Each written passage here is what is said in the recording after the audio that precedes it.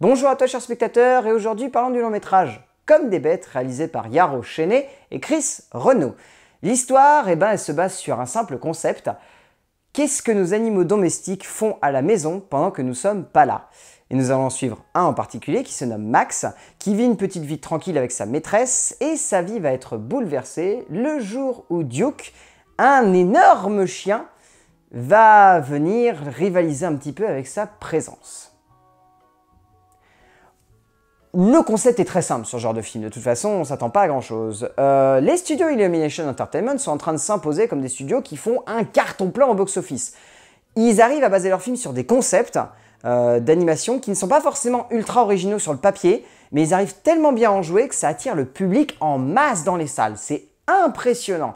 La manière avec laquelle les mignons et les deux moches et méchants sont imposés auprès du grand public, c'est phénoménal. En France, on n'a pas connu la même chose avec le Lorax, mais quand le film Le Lorax est sorti aux États-Unis, adapté d'un roman de Dr. Zeus, ça a été un succès phénoménal.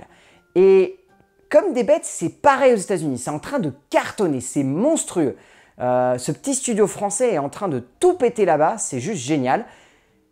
Après, leurs films ne sont pas extraordinaires, c'est un petit peu dommage. Autant les mignons et les moches et méchants, euh, c'est vraiment des films qui sont extrêmement intelligents et qui arrivent très très bien à jouer avec les caractères de leurs personnages, autant comme des bêtes va plus dans la veine du Lorax. C'est-à-dire que c'est extrêmement cliché et c'est une histoire qu'on connaît déjà bien par cœur. Et là, très franchement, si vous pensez pas à Oliver et compagnie en voyant ce film, c'est que vous n'avez pas vu Oliver et compagnie et qu'il faut voir Oliver et compagnie parce que c'est vraiment bien. Euh, non, non, là en fait le film manque d'originalité, manque de nouveauté et manque de ferveur en fait au niveau de la dramaturgie et de sa narration. Et ça fait que même si les personnages sont intéressants, on n'a pas la sensation de voir euh, ce petit grain de folie qui faisait la force des moches et méchants et des mignons. Euh, au niveau du scénario, le scénario est signé par Brian Lynch, Syncopol et Ken Dorio, déjà au travail sur les mignons.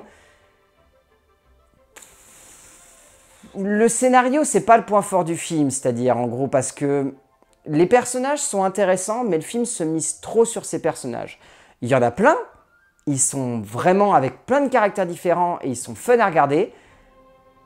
Mais voilà, ça se limite un peu à ça, c'est ça qui est dommage. C'est-à-dire que le film aurait pu aller plus loin, apporter plus de thématiques et on a un peu la sensation qu'il se limite un peu trop à son concept et qu'il essaye pas de le repousser plus loin pour donner lieu à des, vrais moments d'humour qui sortirent un petit peu de l'ordinaire. On aurait aimé que le film ait un petit peu plus de, balls en fait. C'est juste ça, on aurait aimé que le film soit un petit peu plus ambitieux et qu'il essaye d'aller plus loin que simplement s'imiter à son concept. Et c'est la grosse peur qu'on a au début du film. C'est-à-dire qu'en gros, passer un court métrage des mignons pas forcément extraordinaire qui aurait pu se limiter à un petit show à la télé, euh, le film a son intro qui débute et on se dit, aïe, est-ce que ça va tenir le coup pendant 1h20 de film? Ça tient le coup, mais c'est vraiment juste. Et on a cette sensation qu'ils auraient pu quand même se permettre, les trois scénaristes, de pousser le concept un petit peu plus loin et de rechercher à donner un petit peu plus de personnalité euh, différente à leurs différents protagonistes plutôt que voilà, de se reposer sur des clichés, des stéréotypes qui par moments sont un petit peu plombants. C'est le, gros défaut du métrage. La mise en scène euh, de Chenet et Chris Renault, donc Chris Renault qu'on connaît pour Les Mignons et Les Moches et Méchants, eh bien, mais ça se limite beaucoup trop à de la technique en fait. C'est-à-dire que graphiquement, le film est superbe. Le film en plus s'ouvre sur un superbe plan séquence et euh, c'est très bien fait. Mais voilà, c'est un petit peu trop de la performance graphique. C'est-à-dire que le film, on n'a pas cette sensation qu'il y a des moments où, euh, au niveau de l'animation, c'est extraordinaire, c'est phénoménal, ça, ça, prend au trip. C'est beau, c'est beau le film et résultat, au niveau de la, mise, de la, mise, en scène pure et dure, le film est dynamique, il a un très bon jeu avec les décors, il joue vachement bien avec les mouvements des personnages, là-dessus, rien à redire.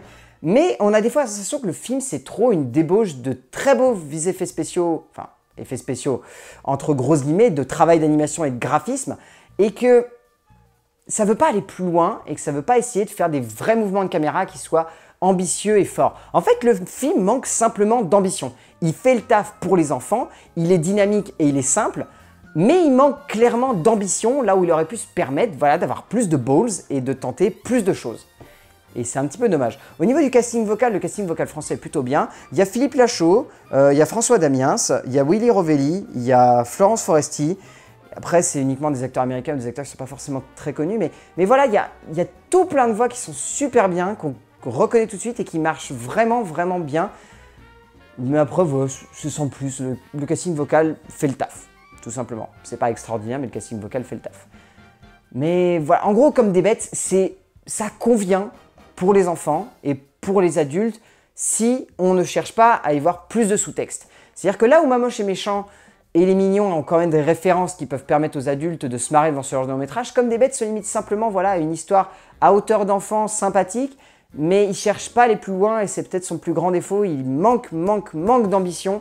Là il aurait pu aller plus loin, mais voilà, comme des bêtes de Chris Renault et Yannick Sherry, euh, ça fonctionne quand même du début à la fin et on est quand même entraîné. Donc voilà, si vous voulez aller le voir, allez-y, ça reste un petit moment de cinéma tout à fait sympathique et divertissant. A plus